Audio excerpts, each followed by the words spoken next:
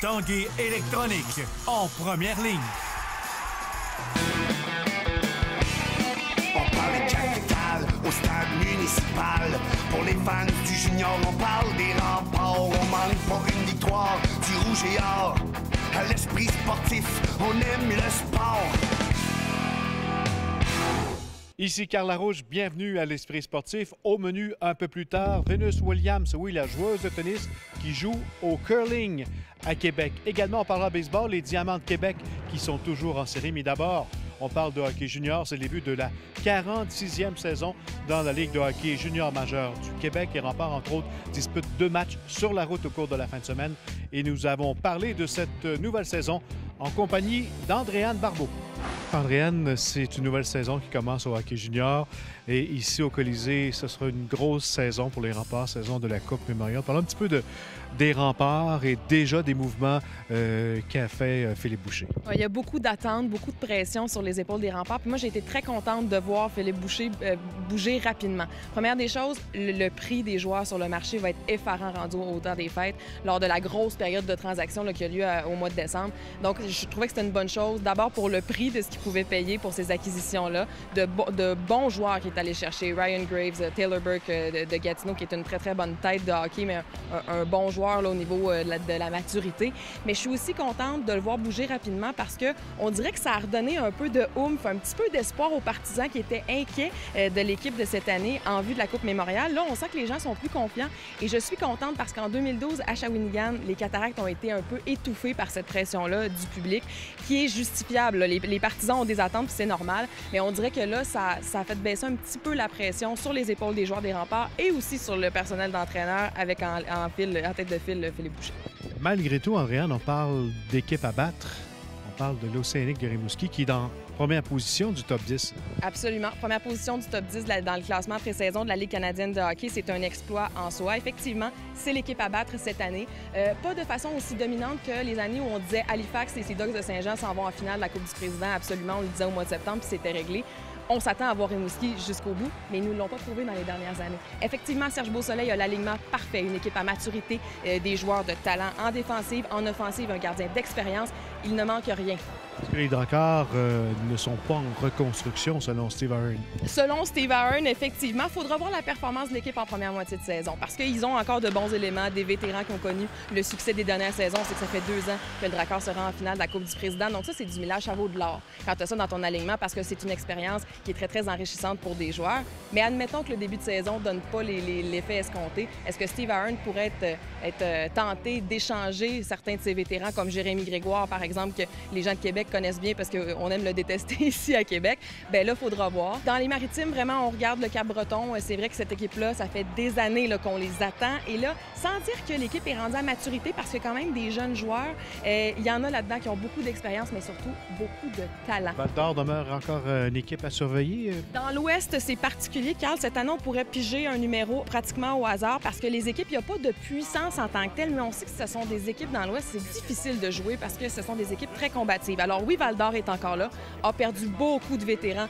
Terminant, Andréane, je te demande de te mouiller. Qui euh, sera euh, l'autre représentant, des représentants de, de la Ligue junior majeure du Québec à la Coupe Memorial? Avec ce qu'on a en main actuellement, je ne prendrai pas de chance de, de dire autre chose que l'Océanique de Rimouski, mais j'ai le goût de te dire, on s'en par- on s'en reparle au mois de décembre quand on aura vu cette première moitié de saison-là et qu'on verra les morceaux se mettre en place. Mais actuellement, Rimouski par favori. C'est bon début de saison. Merci beaucoup. Bonne saison. Parlons maintenant football. Le Rouge et Or de l'Université Laval qui affronte ce samedi le Vert et Or à Sherbrooke. On sait que le Rouge et Or a remporté facilement son premier match de la saison face aux Carabins de l'Université de Montréal. On en a parlé de ce prochain match en compagnie de Glenn Constantin.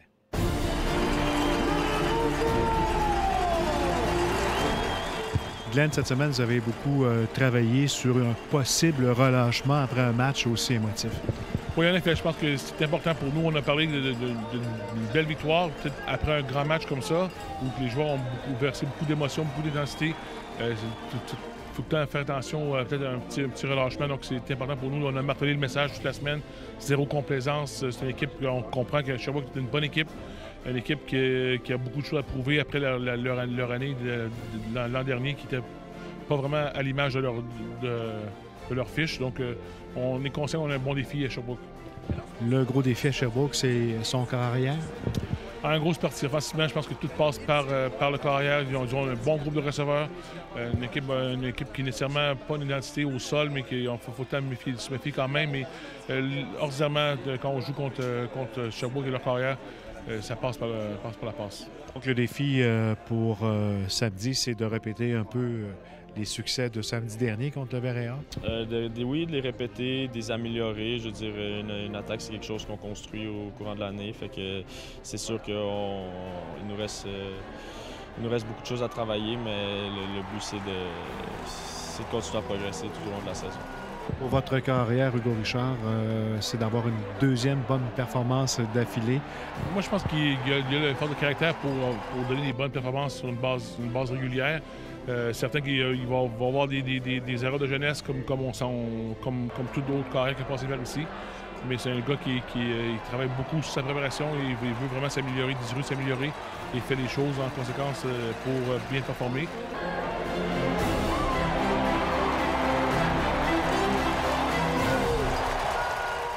Après la pause, baseball, on parle des diamants. On vient dans 3 minutes 30.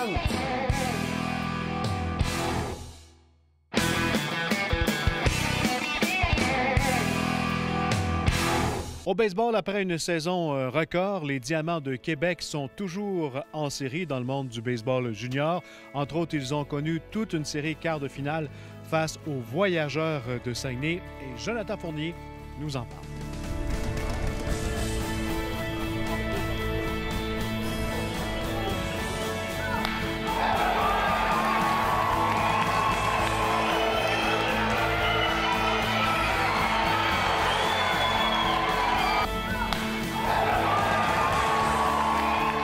La dernière fois qu'on s'est rencontrés, c'était le tout premier match contre les Voyageurs.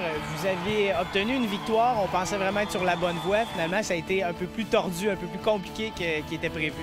Complètement. Ça a été une série euh, très, très serrée. Après un premier match, on, pensait qu'on était un petit peu rouillé, qu'on allait retrouver notre tempo au fur et à mesure de la série. Finalement, ça nous a pris jusqu'à la partie numéro 5 avant qu'on ait vraiment un réveil dans notre équipe. Bien, c'est sûr qu'on a eu un petit moment de panique. À 1-3, on, était petits dans nos shorts. Mais euh, vraiment, il y a un point tournant qui s'est fait. On, a, vraiment ôté la pression, on s'en foutait. On pointait au terrain, on n'avait rien, à perdre. Puis euh, vraiment, on est venu en tant qu'équipe, puis on est, revenu, on est revenu fort dans la série. Euh, c'est sûr que notre mental était vraiment moins positif que durant la saison. on jouait beaucoup moins notre balle de saison, dans le fond. On, on faisait, on s'essayait de concentrer, on n'était pas focus sur le terrain. Puis euh, quand on s'est rendu une série 3-1, on s'est dit, go for it, euh, il reste plus rien à perdre. Donc c'est ça. C'est à, ce moment-là qu'on a baissé notre pression d'équipe. On a joué notre baseball de saison, on a fait nos petites affaires dans notre côté. On s'est concentré sur ce qu'on faisait de bon, puis euh, ça, ça a donné un bon résultat. Les gars commençaient à stresser un peu. Moi, de mon côté, je savais que je pouvais aller chercher trois gros départs si, on avait assez de jours de repos je savais que justement l'équipe qui va moins bien au bâton dans ce temps-là, c'était notre job les lanceurs de, prendre la relève. Puis je pense que les gars ont tout bien fait, euh, moi y compris. Puis ça a aidé Bingo à nous garder dans la série, même quand on avait le, dos euh, à côté dans le mur. Puis on perdait 3-1, on s'est tout regardé, puis on savait que s'il y avait une équipe qui pouvait remonter une série comme ça, c'était la nôtre. On savait qu'on avait les moyens pour le faire. Fait que je pense qu'on s'est tous rassemblés. On a gagné facilement la cinquième partie au stade. On s'en allait, on s'en allait dans une foule hostile au Saguenay, mais on les a battus puis on savait qu'en revenant à Québec pour un septième match, on... ouais, c'était sûr qu'on gagnait. Ça, a été le fun en même temps, un peu d'adversité. Euh, toute l'année, 43 victoires, 5 défaites. C'était rare qu'on était dans cette situation-là. Quand, on était, quand là en série, ça a pris euh, un élément déclencheur, une grosse victoire. Euh, c'est ça que ça a pris pour, démarrer. Comme lanceur, Jonathan Paquette a vraiment tiré son épingle du jeu. il, a été, il a été utilisé beaucoup. Il a été utilisé lors de la partie numéro 1, 4 et 7. partie numéro 4, ça avait été une défaite crève-cœur. Il avait lancé 7 manches incroyables là-bas. Euh, défensivement, notre arrêt court, euh, Simon Martineau a effectué des gros jeux. Deuxième but, Jérôme Cheno aussi, sont même mieux joué défensivement. Ça, a été, euh, ça, nous a aidé beaucoup. offensivement, on joue beaucoup mieux depuis la partie numéro 5 contre Saguenay. j'ose espérer que ça va se poursuivre. Ça a été une de nos forces tout le long de l'année. Je pense que ça va le demeurer, mais si on continue de bien jouer défensivement de supporter nos lanceurs, ça va faire une grosse différence aussi. Le mental est bon pour affronter Repentigny. Ah, absolument. Les gars, on est là. Euh, début, de, début de série contre les voyageurs, peut-être qu'on l'a pris à légère un peu. Ça nous a coûté cher, mais justement, ça nous a réveillé euh, juste à temps pour, la, pour. Puis la finale aussi, si on, si on passe à la prochaine ronde. Bonne série de demi-finale. Yes, merci. Là. L'édition 2014 de la Coupe Banque nationale aura été marquée par la présence de l'excellente joueuse américaine Venus Williams, qui en était à sa première euh, visite ici dans la capitale. Elle a été reçue par le maire de la ville, Régis Labaume, mais également elle en a profité pour s'initier au curling. Marie-Christine Leblanc.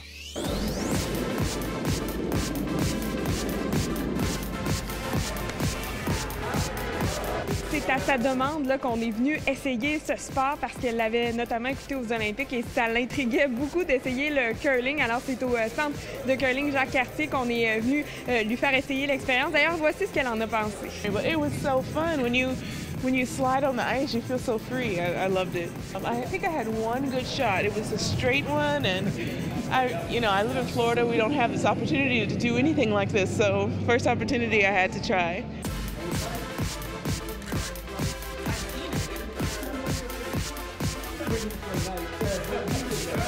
Aussi rencontré le maire Labombe dans le salon du maire à l'hôtel de ville de Québec. Elle a signé le livre d'or de la ville et pour le maire de Québec, vraiment, euh, c'est une très bonne opportunité d'avoir une joueuse du calibre de Venus Williams à Québec et ça pourrait aussi avoir de belles retombées. C'est bon pour le sport aussi.